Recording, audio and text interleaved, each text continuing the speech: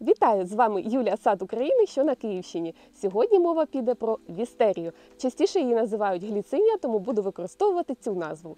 Це моя гліцинія, їй 7 років, і я покажу вам, як я її обрізаю для того, щоб досягти максимально рясного квітування.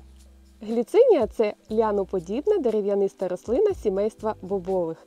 Вона неймовірна і неповторна окраса в саду. В період цвітіння перетворює місце зростання на райський куточок. Довгі китиці у гліцинії переважно бузкового, рожевого або білого кольорів, в залежності від сорту. Коли я садила свою гліцинію, було дуже мало інформації про вирощування і обрізку цієї рослини. Вважалося, що в Україні вона не зимує і не квітне, але це не так. Моя гліцинія заквітла на шостий рік, причому я її жодного року не вкривала на зиму. До того вона певне адаптувалася і нарощувала кореневу систему. Зараз клімат змінюється, зими все тепліше, і я думаю, в жодному регіоні України не виникне проблем з вирощуванням гліцинії. Але все ж таки сортність це важливо. Ще хочу сказати, що гліцинія не є вологолюбивою рослиною і прекрасно переносить спеку. Виходячи з свого досвіду, даю поради по вирощуванні гліцинії. Найперше, гліцинія любить сонце, тому обирайте для неї сонячне місце і, що немаловажливо, е, затишне, безвітряне місце. До ґрунту вона невибаглива. Я її посадила в звичайному плодородному ґрунті. У мене колись тут були грядочки з овочами. Нічого не додавала особливо в ту посадкову яму. Єдине, що я вам раджу, зробити дренаж, щоб не було застою вологи. Наступний момент гліцинія досить потужна ляна і потребує опори. Подивіться, які тут товсті і великі пагони. Часто її завивають, закручують навколо металевих опор. Я не рекомендую цього робити, тому що з часом вона наростає і може вдушитись. Уявіть собі, щоб ось тут всередині була, наприклад, металева труба, і це було б дуже травматично для неї. Я свою гліцинію пустила на дерев'яний паркан, і тепер вона вже досягла такого віку, коли тримає сама себе. Квітує гліцинія навесні, а при хорошому догляді двічі на рік, другий раз в кінці серпня. Для цього потрібно хоча б два рази її обрізати. Минулого року я не всі квіти обрізала, і як бачите, на місці суцвіт формуються ось такі насіннєві коробочки.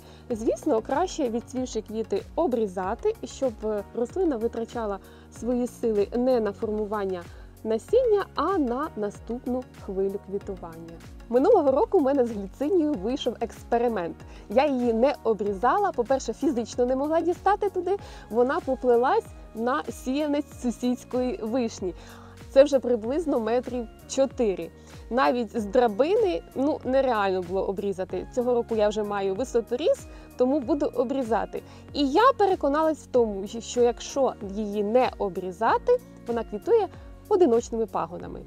Тому стимулювати, відрізаючи бокові пагони, обов'язково треба, щоб формувались квіткові бруньки. Якщо ви тільки посадили свою гліцинію, потрібно наростити один або декілька скелетних пагонів.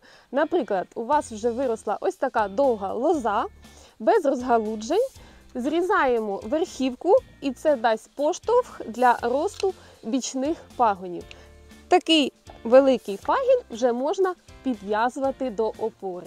Якщо ж вашій гліцині вже декілька років, починати слід санітарної обрізки. Вирізаємо усі сухі, тонкі пагони і ті, які загущують крону. Бо гліцинії потрібен вільний доступ сонця і повітря всередину крони, щоб вона рясно квітувала.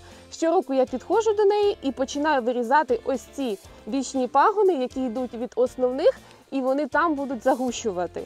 Це зробити не просто, особливо якщо вчасно вони не були видалені.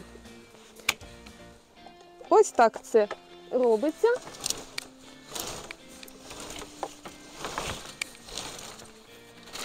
І називається це прорідження крони.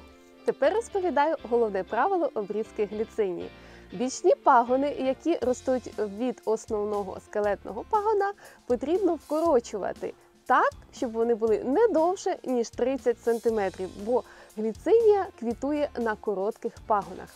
І на практиці покажу вам ось цю гілку. Як ви бачите, тут йде основна скелетна гілка, і від неї відходять ось такі бічні. Беремо бічну гілку і вкорочуємо приблизно на 30 см. І так кожну гілочку.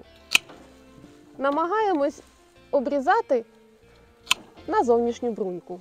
Отак приблизно буде виглядати ця гілка після обрізки. Показую ближче, нема абсолютно нічого складного. Головна гілка і від неї відходять бічні. Кожна бічна гілка має бути не довша, ніж 30 см. Обрізаємо на зовнішню брунічку. Ось так. І так по всій гліцині я лишаю 30 см бічних пагонів. Новачкам раджу робити обрізку навесні, коли вже можна чітко відрізнити квіткові бруньки від ростових. Квіткові набагато більші після набрякання і рясніші. Ну що, беру секатор, висоторіз, драбину і погнала!